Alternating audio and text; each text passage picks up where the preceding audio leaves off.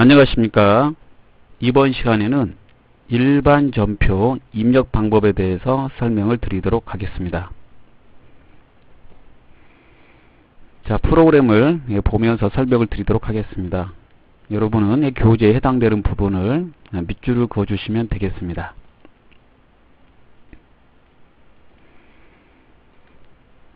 자, 프로그램에 보면 전표 입력 메뉴가 있습니다. 수기, 수기로 했을 때는 요, 수기, 즉 사람이 종이에다가 펜을 들고 썼을 때는 전표 작성이었습니다. 예, 전표는 거래 내역을 간단하게 적는 쪽지였죠. 그 쪽지에다가 펜을 들고 이렇게 쓰는 거였습니다. 예, 그런데 이제 프로그램이다 보니까 이제 입력이란 말을 쓰는 거죠.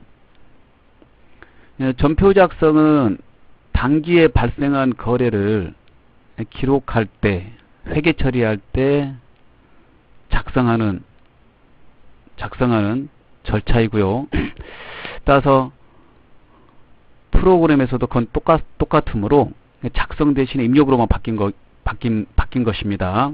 따라서 단기에 발생된 거래가 있다면 전표에다 입력을 하는 겁니다. 당해 연도에 회계상의 거래이면 전표에다 입력하는 거죠. 전표 입력은 지금 전산회계 2급에서는 일반 전표 입력 메뉴 하나만 보이고 있지만 전표 입력은 메뉴가 두 개입니다.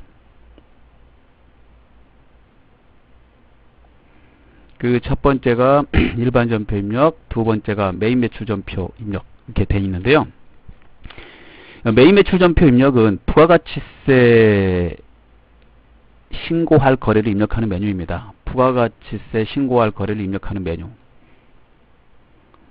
따서 물건을 사고 팔 때 그 거래에 부가세가 있는 거래다라고 하면 부가세하고 관계되는 거래다라고 하면 그 거래를 부가세 신고해야 되는 경우라면 그 거래에 대해서 부가세 신고해야 되는 경우라면 부가세 신고해야 되는 그 거래는 메인 매출 전표 입력에다가 입력하라고 되어 있습니다.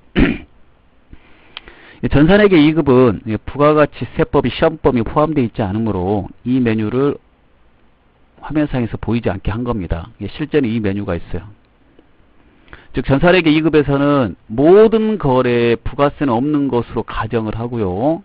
부가가치세는 실제는 있는데 생략하고 처음 하는 단계다 보니까 처음 하는 단계다 보니까 생략을 하고 모든 거래 부가세는 없는 것으로 간주하고 그 거래자를 입력하게끔 시험 문제가 나오고 있고요. 그래서 일반 전표 입력 하나밖에 없습니다.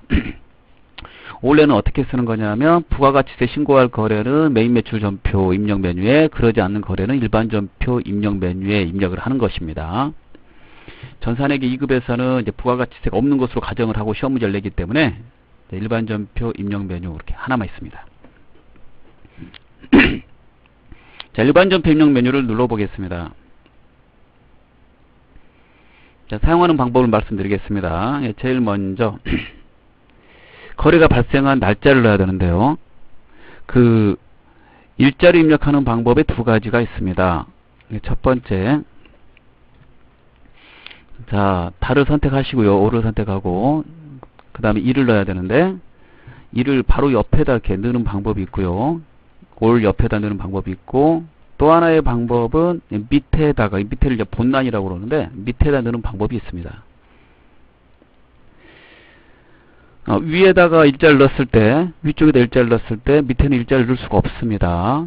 그래서 다른 일자로 바뀌었다. 1이 바뀌었다. 그럼 위로 올라가서 다시 이렇게 쳐서 넣어야 됩니다. 예. 밑에다가 일자를 넣을 때는 계속 본란에다 일자를 써가면서 넣을 수 있습니다. 그러면 둘은 사용자의 선택사항입니다. 사용자가 편리에 따라서 골라서 쓰는 겁니다. 이제 처음이다 보니까 골라서 쓰는 입장에서도 두 가지로 일자리 입력하는 방법이 있는데 처음이다 보니까 어떤 게 좋을지 잘 모르는 경우가 많겠죠. 어떻게 써야 돼요? 이렇게 물어보는 거죠. 예. 두 가지 방식이 있다면 어느 게 좋아요? 이렇게 물어보잖아요. 예. 물건 사러 가면 예. 자주 사보신 분은 알아서 잘 사겠지만 그 물건의 특성을 잘 아니까 예. 그러지 못하면 어느 게 좋아요? 물어보는 거 비슷하죠. 예. 그래서 어 제가 사용해 본 바 설명을 드리면 예, 옆에다가 일자를 쓰는 경우에는 해당되는 달의 거래가 많지 않을 때는 옆에다 일자를 쓰는 게 편리하고 좋습니다. 그래서 거래가 많지 않으니까 뭐 1월에 세 건의 거래가 있었다. 그럼 1월 3일, 그 다음에 1월 5일, 1월 20일 그럼 이렇게 해서 가면서 하는 거죠. 밑에 본란에 일자를 쓸 수 없어 이 자리는 예. 그럼 아래다가 예, 본란에다 일자를 쓰고 싶을 때는 1월의 거래가 연속적으로 계속 발생할 때는 밑에다 써가는 게 훨씬 입력 속도가 빠릅니다. 음. 학습을 할 때는 학습을 할 때는 이제 교재 책을 보시면 아시겠지만 1월의 거래가 연속적으로 쭉 이렇게 나와요. 그래서 밑에다가 일자를 본날에다 일자를 써가면서 학습을 할 거고요.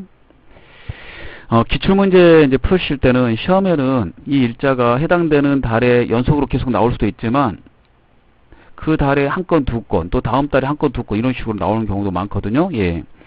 그래서 이제 시험 문제 풀 때는 예, 편리에 따라서 본인이 예, 옆에다가 일자를 쓰는 방식을 택하는 게 예, 좋습니다. 예. 자 그리고 모르고 위에다가 일자를 쓰게 되면요 밑에다 일을 쓰고 싶었는데 본난에다 쓰고 싶었는데 모르고 옆에 월 옆에다 썼다 그러면 이거 지워야 됩니다. 예, 지우지 않으면 밑에다 쓸 수 없어요. 예, 클릭이 안 되거든요. 예, 그럴 때는 백스파, 백스페이스바 누르고 백스페이스바 누, 백스페이스 누르고 엔터를 치거나 또는 스페이스바 긴 막대 보이죠? 스페이스바 누르고 엔터를 쳐서 지우고 예, 밑에다 쓰시면 되겠습니다. 여기를 그렇게 쓰시면 되겠고 옆에 이제 변경이라는 게 있는데요. 변경은 거래를 올, 연월 단위로 입력할 때 써요. 연월 단위로. 연월 단위로 입력할 때 쓰는 건데 시험 문제 푸시거나 그럴 때는 되게 불편합니다. 예, 사용하지 않기를 예, 권장합니다. 자 그러면 그 다음 단계 보죠.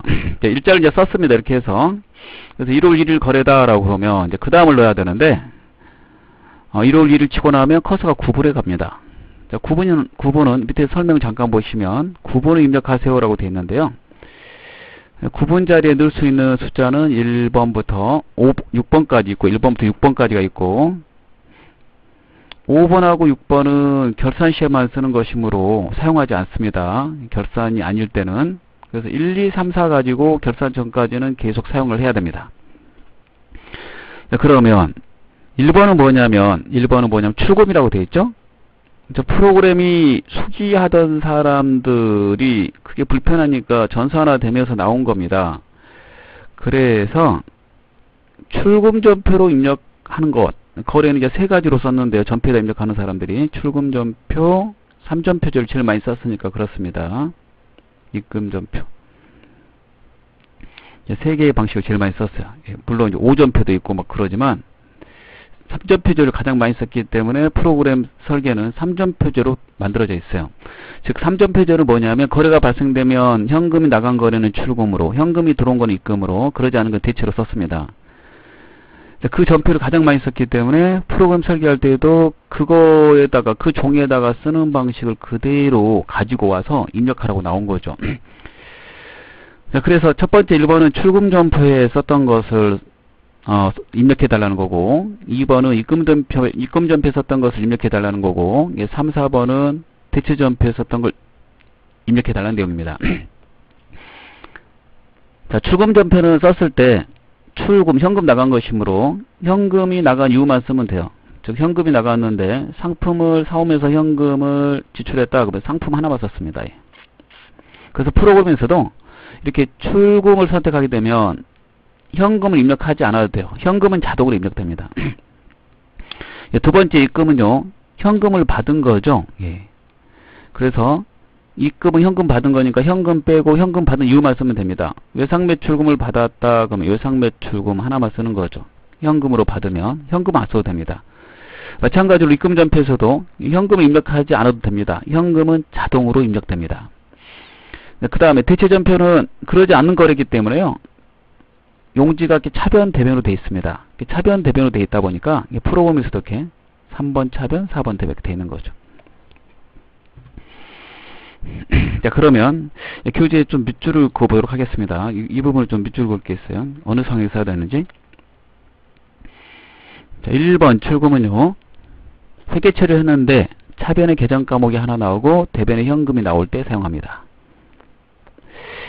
2번에 2번의 입금은요. 1번의 출금은 이런 경우에 쓰고 2번의 입금은 차변의 현금 하나 나오고 대변의 계정 과목 하나 나올 때 사용합니다.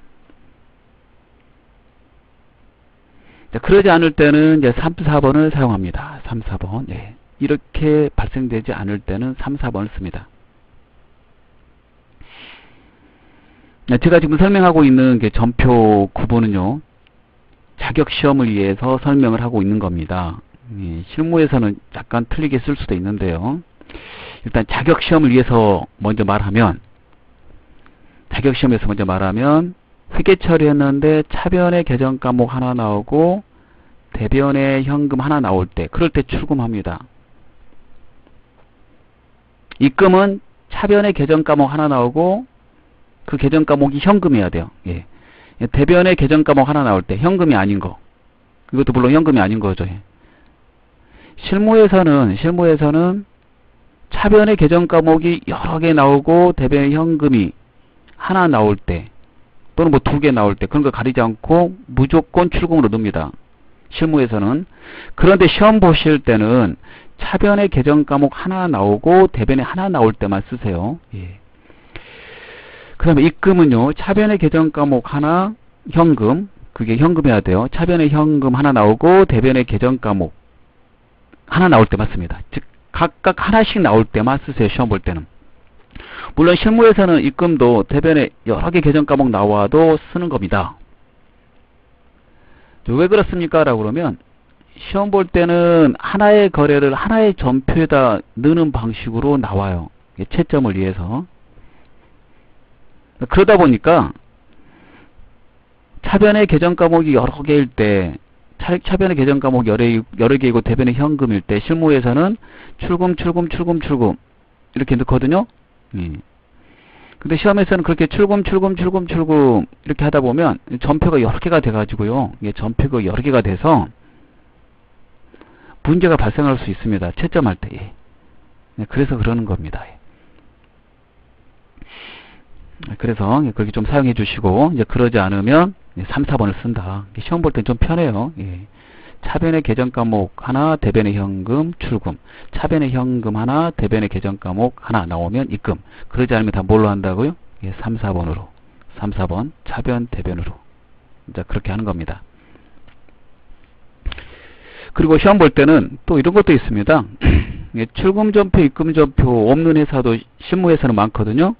그래서 거래가 발생했을 때 출금, 입금 대신 출금, 입금 대신 차변, 대변으로 차변, 대변으로 실무에서 쓰던 경우가 많이 있어서 시험 보실 때도 출금, 입금 거래가 맞는데 출금, 입금 거래를 차변, 대변으로 넣어도 아무 상관이 없습니다.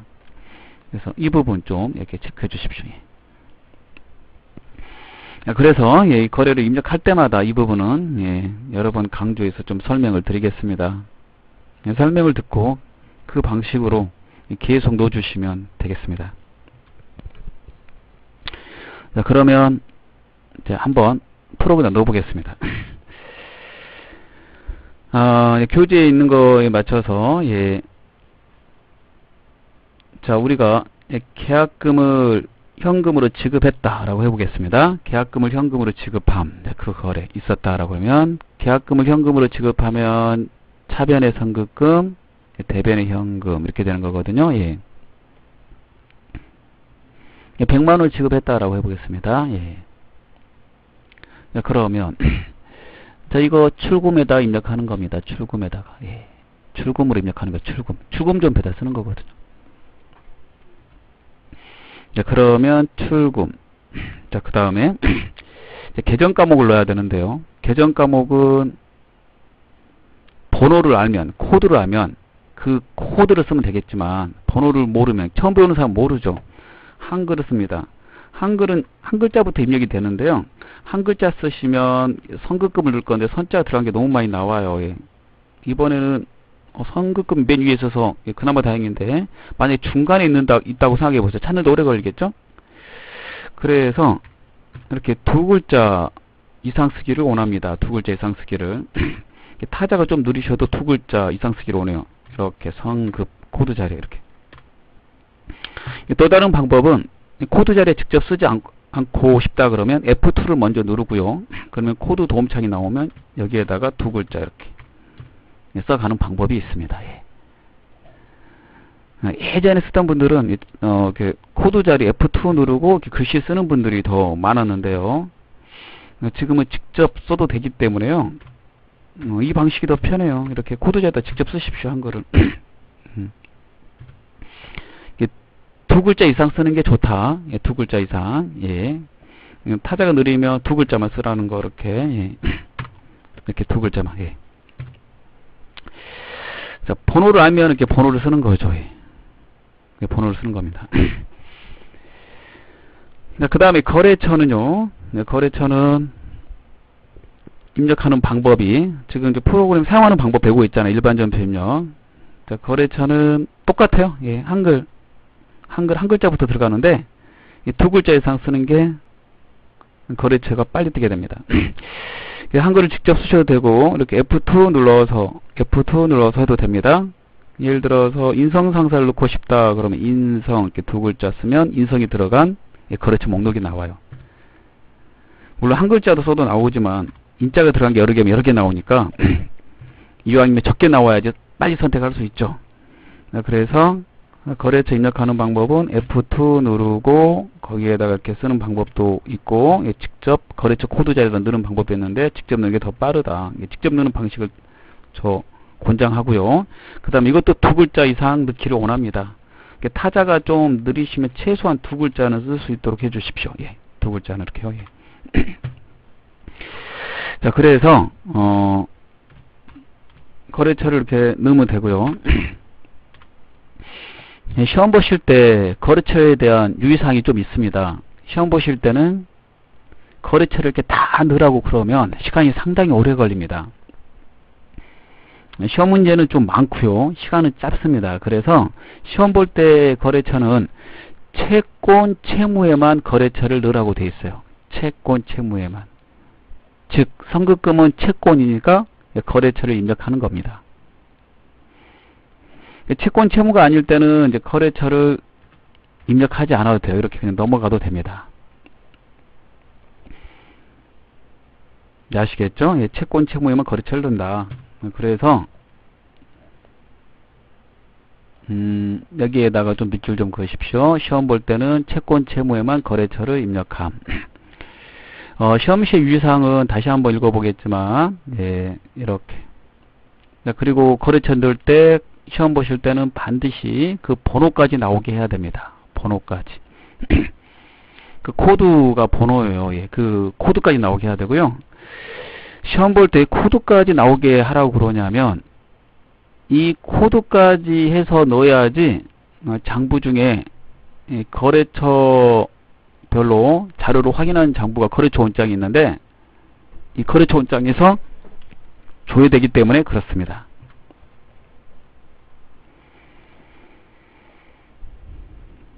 자, 거래처, 어, 거래처에서 만약에, 어, 이렇게도 넣는 사람도 있거든요. 인성상사한테 계약금을 지급했다 그러면 인성상사 이렇게 해서 넣는 사람도 있어요. 이렇게 이런 식으로요. 예.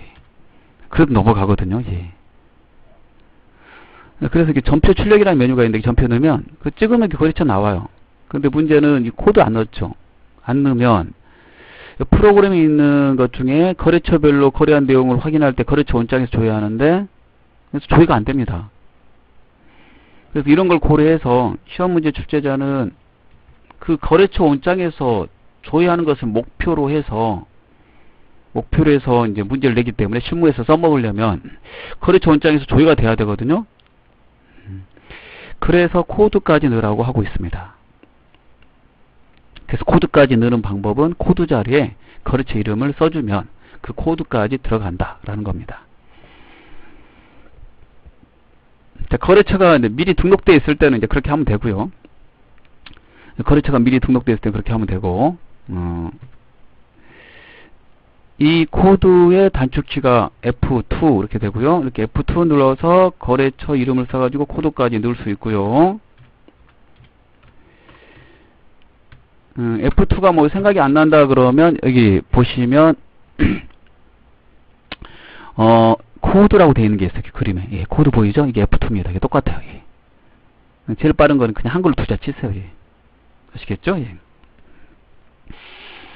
등록되어 있는 거는 그렇게 하시면 되는데요. 이렇게 등록되어 있는 그렇게 하시면 되는데 등록이 안 돼 있는 경우도 있어요. 거래처 등록이 안 되고 거래처를 등록한 다음에 입력하세요라고 나옵니다. 이제 그럴 때 그럴 때요. 예, 거래 거래처 등록에 가서 등록을 하고 여기서 등록을 하고 기초정보 등록 거래처 등록 배웠죠? 등록을 하고 그 다음에 이 거래처를 넣을 수 있는 방법도 있는데 더 빠른 방법은 이 자리에서도 등록을 할 수 있다는 겁니다.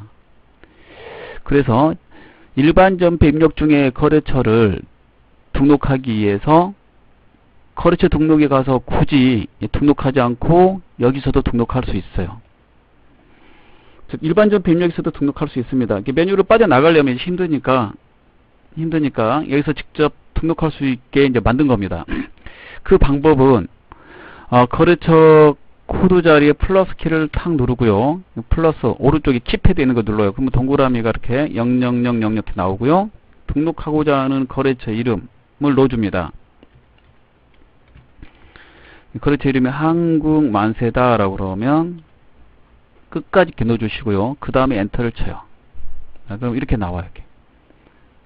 이렇게 나오면 거래처로 쓸 코드 번호 넣고 그 다음에 추가로 더 넣을 사항이 있다 그러면 수정키를 눌러 가지고요 수정키를 누르면 코드 번호는 시험장에서 시험지에 지시가 돼 있어요 그 지시된 번호 써야 되고 여러분이 마음대로 아무 번호 쓰면 안 됩니다 예.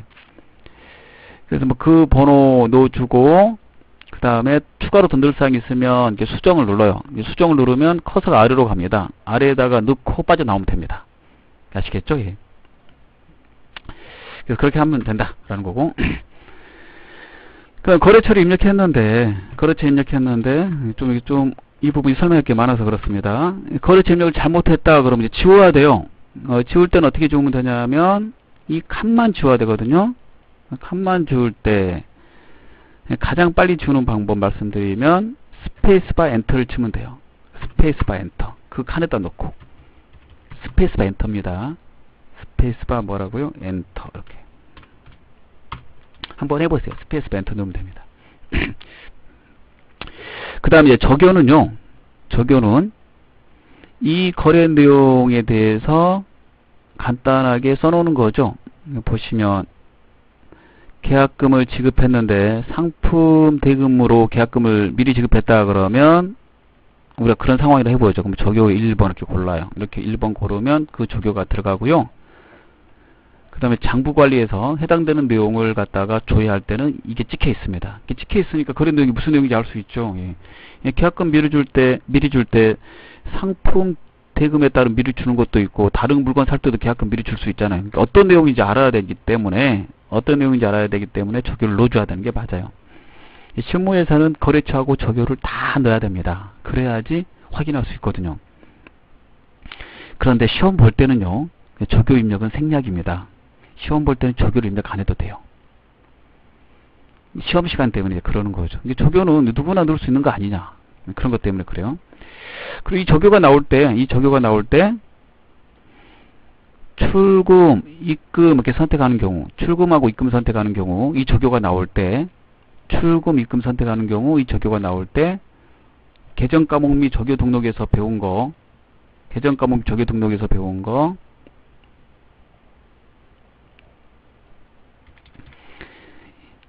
현금 적요 부분이 나와요. 출금, 입금 선택하면 현금 적요를. 그런데 차변, 대변 선택하면 대체 적요가 나옵니다. 즉 출금하고 입금은 현금 거래잖아요. 즉 현금 거래에 쓸 적요 이렇게 미리 독독된 거. 그러지 않는 거. 그래서 지금 1번부터 5번이 여기 나오고 있는 것을 알 수가 있습니다. 그래서 1번부터 5번이 여기 나온 거죠. 예. 그래서 그런 목적으로 쓰기 위해서 적요를 등록했다라는 겁니다. 시험 볼 때는 이제 저기를 입력하지 않아도 되니까 예, 그냥 통과하고 넘어가는 거 이렇게 엔터 치면 그냥 통과합니다. 이렇게요.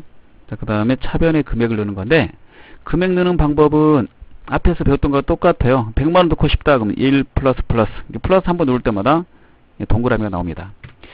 그리고 엔터를 치시면 보시는 대로 대변의 현금이 자동으로 들어가 있습니다. 이렇게요. 예. 그 아래쪽을 볼게요. 프로그램에서. 아래쪽에 이 거래가 차변의 선급금, 대변의 현금인데 어, 차변의 선급금, 대변의 현금이 보시는 대로 이렇게 들어가 있는 것을 알 수가 있습니다. 예.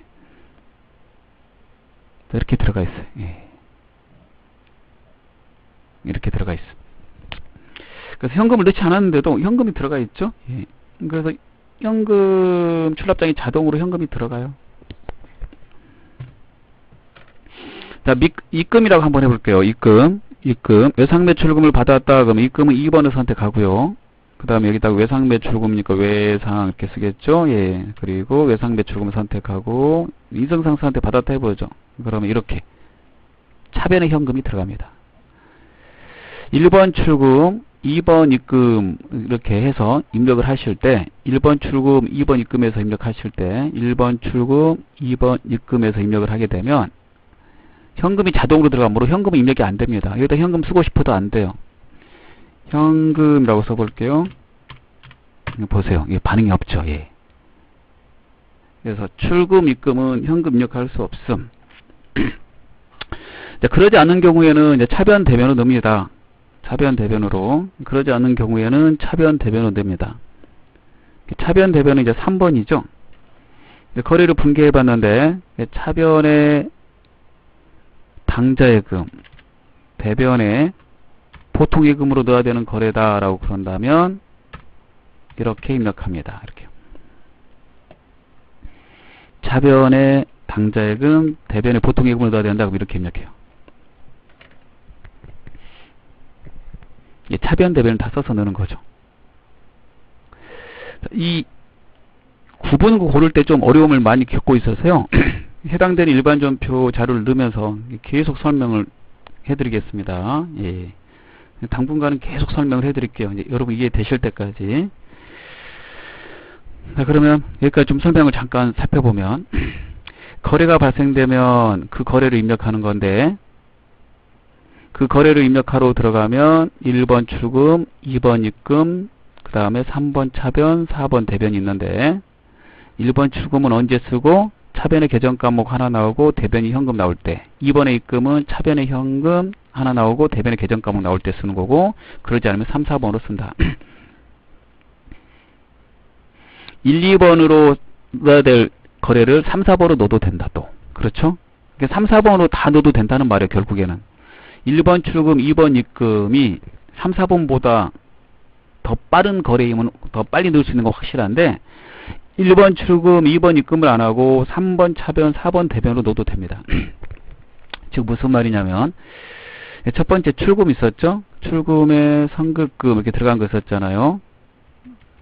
이렇게 넣으면 보세요. 전표가 한 줄로 처리가 되죠. 이렇게 한 줄로 처리가 되거든요. 근데 이거 차변 대변으로 넣는다면 차변의 선급금, 대변의 현금, 대변의 현금 이렇게 넣어야 돼요. 그러면 이렇게 넣어도 된다는 거 이게 차변 대변으로 해. 이렇게 차변 대변으로 넣어도 되고 이렇게 출금으로 한 번 해도 되고 이 출금으로 하면 한 줄로 끝나는데 차변 대변으로 넣으면 어떻게 해요? 두 줄을 해야 되니까 출금이 훨씬 빠른 거죠.